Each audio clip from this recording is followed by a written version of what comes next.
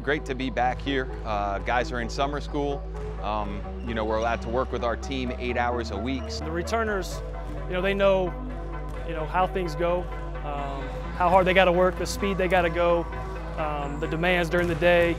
Our, our new guys, it's all new, um, from the different uh, demands we have every day to how hard they got to go with each rep, an individual workout in the weight room, in the training room. It's just all new. Getting to class for the first time, getting to study hall. The biggest thing we can develop right now as a group and what, what these guys are really working on is just developing the culture uh, of guys that are in the gym, uh, that, that want to play basketball, that want to get better.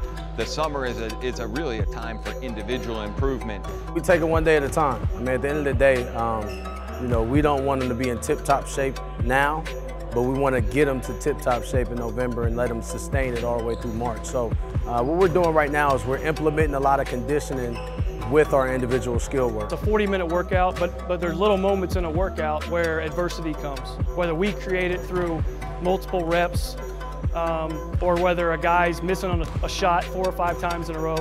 So, you know, just like in a game, there's adversity that comes up individually and collectively as a team. During the summer, you can get extra shots up in the gym when, when we're here.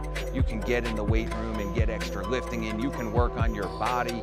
Guys that need to gain weight or, or get stronger or need to lose weight, those guys can be in with our strength coach uh, all the time without having the pressure of a season, uh, without having a ton of classes. They're all taking one class.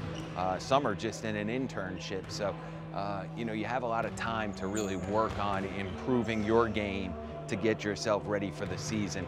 But, but culturally, we're really working on trying to be a team that works really, really hard um, and competes daily to get better.